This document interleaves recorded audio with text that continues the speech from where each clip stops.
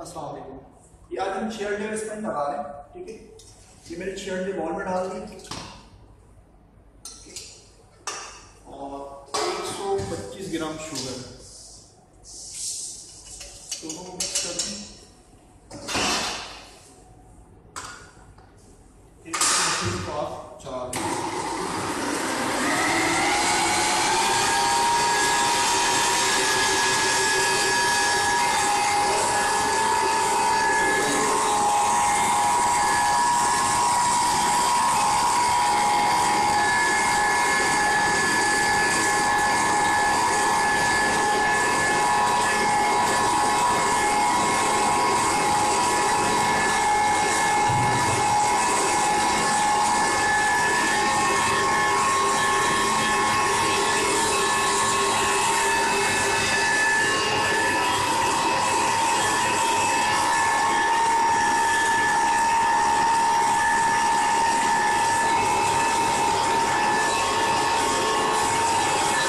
पच्चीस ग्राम मैदा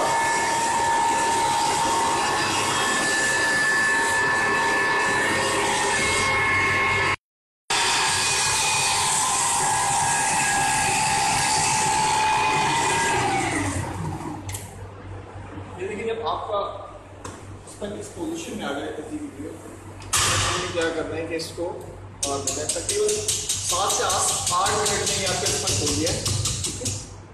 सात से आठ मिनट में ये देखिए, ये इस टाइप का हो जाएगा आपका। इस पर छः अंडे डाले हमने आपके सामने और 125 ग्राम शुगर डाली। अब 125 ग्राम मैदा डालेंगे और हल्के हाथ से इसको मिक्स करेंगे। हल्के हल्के हाथ से इसको और हल्का हल्का मैदा डालते हैं इसके अंदर और हल्के हल्के हाथ से इसको मिक्स करते हैं। या स्पेचुलर से कर लें, वैसे हाथ से अगर मिक्स करेंगे तो बहुत अच्छे से आएगा स्पेचुलर से ऐसा होता है कि कहीं मैदा मिक्स होता है, कहीं नहीं होता है इसके अंदर ठीक है, ये हमने मैदा डाल दिया इसके अंदर और जब नज़दीक करें, ये दिखाना कि किस तरीके से इसको मैं मिक्स कर हूँ। ये अच्छी तरीके से आप इसको मैदे को मिक्स करें। पहले मैंने छेड़ ले लिया उसके अंदर 125 ग्राम मैंने शुगर डाली उसके अंदर 125 ग्राम मैंने मैदा डाल दिया। और हाथ से अच्छी तरीके से इसको मिक्स कर लिया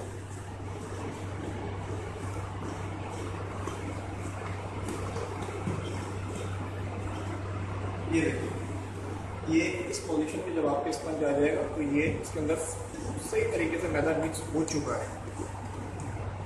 अब अपने क्या करना है कि सेकंड में वो मोड़ लें, मोड़ के अंदर घी लगा दें या बटर लगा दें। ये देखिए, मैंने इसके अंदर बटर लगाया हुआ और मैं इसको वापस से इसमें कन्वर्ट कर देता हूँ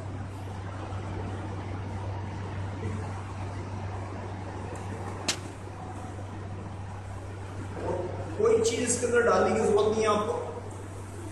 सिर्फ़ इसके अंदर छः अंडे ले लें सौ पच्चीस ग्राम मैदा और एक सौ पच्चीस ग्राम शुगर।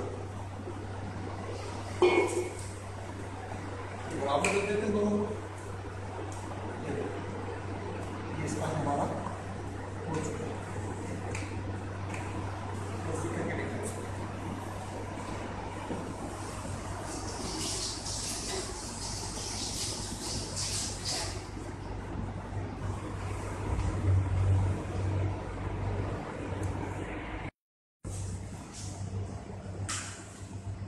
इसको ओवन में डाल दें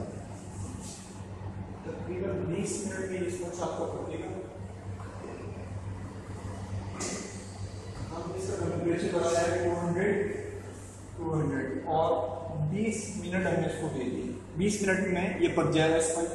200 की डिग्री को ओवन हीट लगा देंगे 200 की पक जाएगा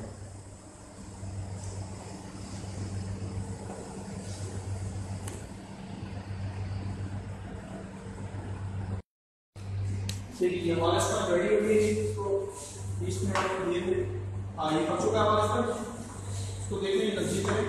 अच्छा इसका चेक करने का तरीका क्या होता है कि इसको एक तो ऐसे हाथ लगाएँ। ये हाथ आपको ऊपर की तरफ़ आएगा तो समझ लीजिए स्पंज पर और दूसरा इसका तरीका ये होता है जब ये साइडें छोड़ दे अपनी तो ये स्पंज हमारा रेडी है। करीब करीब लेकर थोड़ा थोड़ा सही चीज़ें डिफाइन हो। देखिए हमारे स्पंज रेडी हो गई हो। थोड़ा सा गर्म ही है एक स्पंज मैं आपको इसको काट के दिखा देता हूँ अंदर से भी दिखा देता हूँ।